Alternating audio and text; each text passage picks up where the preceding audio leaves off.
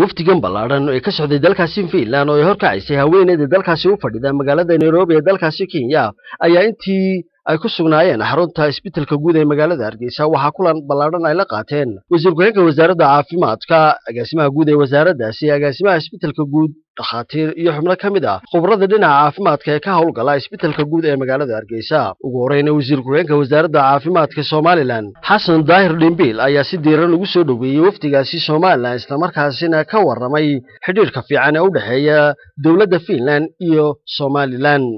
Aad iyo aad baan ugu mahadnaqaynaa ambasadorka finland booqashada uu nagu yimiday nagu yimiday wasaaradda caafimaadka isagoo dowladda finland ay macaawimaad fara badan oo ka hesho somalilan oo gaar ahaan isbitaalka hargeysa iyo weliba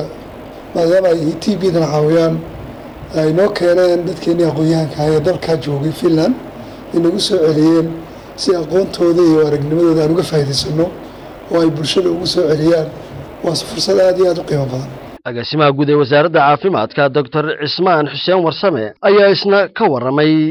adeegyada kala duwan ee wasaaradda caafimaadka ay u qabato bulshadeeda iyo guud ahaanba isbitaalada iyo xarumaha caafimaad ee ka howlgala dalka gudihiisa gaar ahaana gobollada kala duwan ee dalka. Iyadoo markaa noogu yimi inay booqdaan cusbitaalka ogaadaana una kurgalaan taageerada ay cusbitaalka u fidiyaan taageeradaas oo ay ka mid tahay dhakhaatiir iyo hawlwadano caafimaad oo fara badan oo dowladdu ay xagga taxbayerkooda ama xagga cashuur ay ka bixiyaan aad iyo aad bay runtii annaga noo taabatay dad fara badan baa ka faa'iida. Shan iyo toban dhakhtar baa ka howlgala oo ay dowladdu taageerto oo siiso gunooyin. Sidoo kale qorshe in la gaadhsiiyo labaatan. Waxaanu ka wada hadalna sidii loo ballaadhin lahaa mashruucan oo loo gaadhsiin lahaa gobollada kale lixda gobol ee somalilan o dhan loo gaadhsiin lahaa. Meel kasta goob kasta loo geyn lahaa ilaa afar ama shan dhakhtar oo sidan oo kalea dhakhaatiirtu waxay isugu jiraan kuwo laboratorista ama xagga diagnosiska kuwa dhakhaatiirta general practitionerka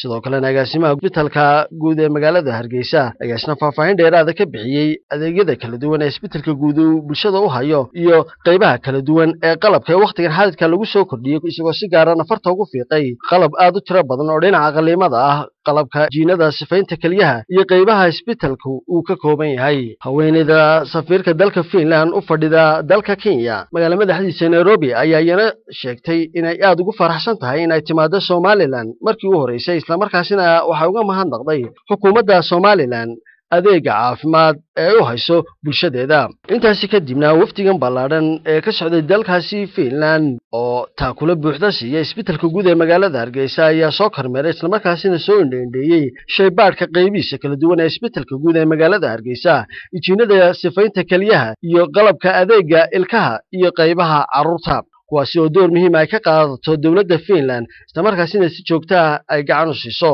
Ugu dambayntiina agaasimaha guud ee wasaaradda caafimaadka ayaa ka warramay taageerada lixaad kale ee dowladda finland ay siiso somalilan dhinaca caafimaadka iyo ujeeddada kormeerka wafdigan